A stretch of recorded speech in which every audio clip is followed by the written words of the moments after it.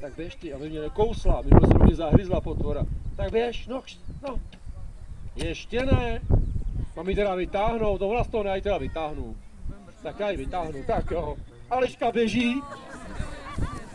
Co může orel chytá, ale špatně, to, takže a už je to lepší a už drží. Tak. A když vidí takhle za tu hlavu, tak se liška ani nehne.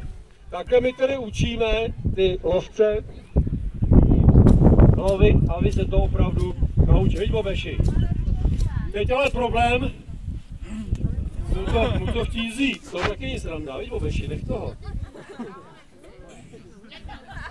Tak teď, abychom se ho sundali, tak mu musíme ukázat jiný kus masa. Tak kolegyně vezme jiný kus masa.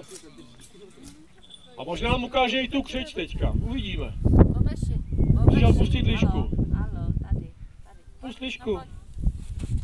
Tak, musíš pustit. To je ta křeč, vidíte? To je ta křeč. Tak lišku nebo maso, jedno nebo druhý. Tak, teďka to pustil. To bylo docela krátce teďka. Pozor, jestli nesplete. Ne, nesajte, nesajte, pozor. Minule chvíli takový malýho kluka ten oral, je, ten křičel. Myslím, ten, ten kluk. Moje křídla! Moje křídla! Takže to je orel stepní, kterého prosím vás používáme při ukázkách. Orla skalního nikoliv, to je zbraň. Pokud je orel skalní, pouze staticky by se děl nic víc.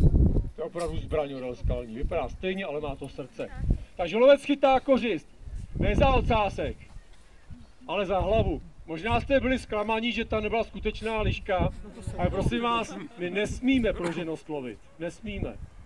Pouze, když byste chtěli vidět opravdu lov, tak na podzim, když je doba lovu, jít s námi na naše lovecké setkání. Jinak